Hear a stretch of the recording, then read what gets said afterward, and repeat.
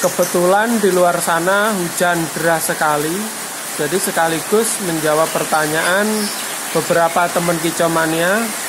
Om Sis pernah nggak e, memandikan hujan-hujanan burung murai batu kayak gitu? Nah, e, oke teman-teman sebelum saya lanjut menjawab, untuk teman-teman yang baru gabung, yang pengen mengikuti giveaway, cek di deskripsi ada petunjuk lengkapnya dan untuk teman-teman yang pengen gabung di grup telegram di deskripsi ada linknya. Tinggal klik langsung gabung. Oke langsung saja uh, seperti ini teman-teman ya. Pada dasarnya memandikan burung burung murai batu atau burung lainnya itu tujuannya untuk badannya bersih yang pertama itu. Yang kedua digunakan untuk mengurangi birahi. Biasanya seperti itu teman-teman.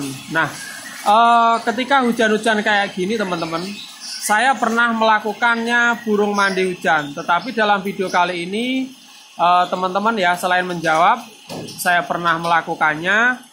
Yang perlu ingat teman-teman ya, jadi ini banyak ini murai batu, ini murai batu kayak gitu. Kenapa terlihat tidak ada satupun yang saya mandikan kayak gitu. Nah, ini sejak pagi tidak ada panas sekali.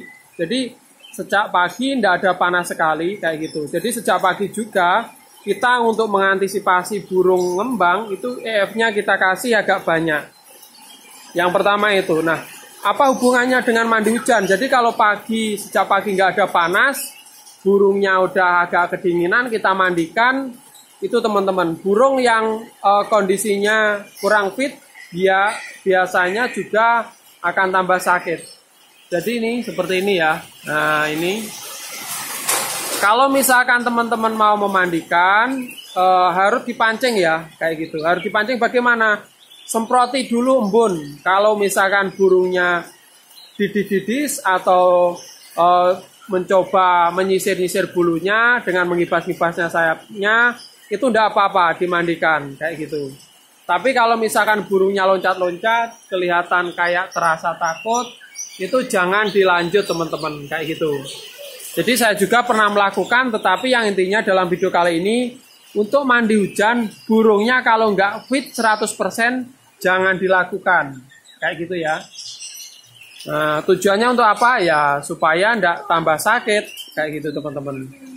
Oke, video pendek kali ini uh, semoga bermanfaat. Salam kicomania dari Tulungagung.